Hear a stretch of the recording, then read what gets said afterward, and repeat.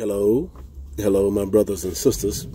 Uh, this is Prophet West, and I want to release a, um, a prophetic word, a prophetic word uh, to someone and someone's um, for the month of June.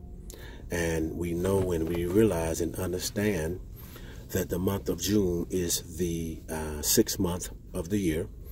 And we know that on the sixth day, God created man in his image and his likeness.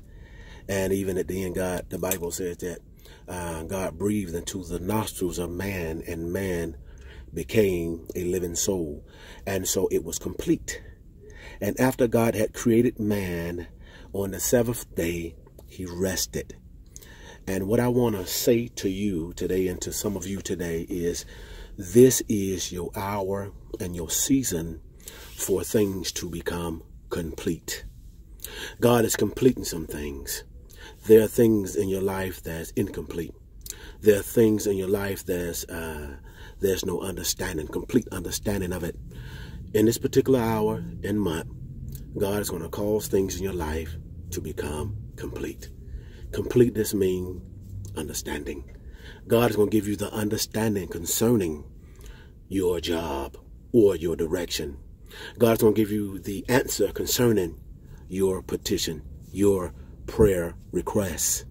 And um, one of the things that I've noticed also, this is a season, an hour, where God is birthing out or birthing through, or this is a harvest season where uh, things are coming to coming to fruition, things are coming um, coming ripe, things are coming ready and done and prepared. In this hour, God is preparing you. You will be prepared, and there are things there are things in you God is preparing. In this hour, those things are becoming birth. Through much pain and through much pressure, it is becoming birth. Wisdom. Some of you, you've been asking, you've been seeking for wisdom. Wisdom is becoming birth. There are even some of you that you're looking and you've been asking for peace. In this hour, God is bringing peace. In the midst of your storm, God is teaching you peace. God is developing you. In other words, God is maturing you to the point where the things that you face and the things that you encounter in this hour, you will be able to shake them off because peace. God is going to give you peace and protection. God is going to give you understand, understanding. Also, God is going to give you some of you foresight, where you're able to see down the road of peace, uh, where you're able to see a little farther uh, in this hour. Also, restoration. God is going to restore. Many of you that listen to me, they're going to. God is going to restore uh, your health. Some of you, you've been sick. You've been sickly. God is going to restore your health back to you. And some of you also, also one of the things that uh, God has been moving up on me uh, in this particular hour.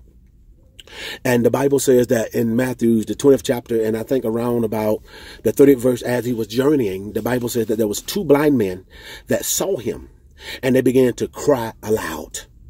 And the disciples tried to get them to hold their peace. But the Bible says that they cried even louder. And Jesus heard and Jesus healed them. And they said, uh, have mercy on me, son of David. And God, Jesus healed them because they cried out. He had, in other words, he had a compassion. He was compassionate for them. He felt them. He moved. He was moved uh, by their cry. In this hour, uh, this is an hour where God has become moved by your cry. He has been moved by your pain and your struggles. And because he has become moved by and because of your struggles, he's going to respond. He's going to react. Some of you, he's going to bring forth even understanding. He's going to bring forth even a greater strength. But also some of you, he's going to even put you into a place where he's giving you a new assignment. And in this new assignment, he's take you to a new dimension, another dimension. And in this dimension, you're going to face things that you've never faced before. You're going to see things that you've never seen before. But in this dimension, you've already been prepared.